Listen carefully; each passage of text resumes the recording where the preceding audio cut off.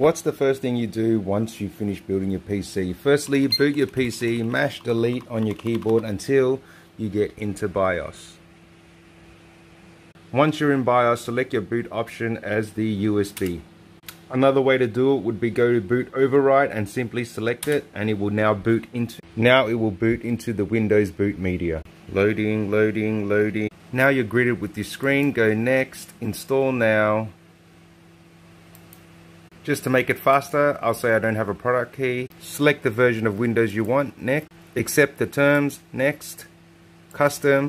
Make sure you select the right drive for Windows booting. In my case, I had two 1TB SSDs, so I removed one, so I know exactly which one is going to be my boot drive, the faster drive.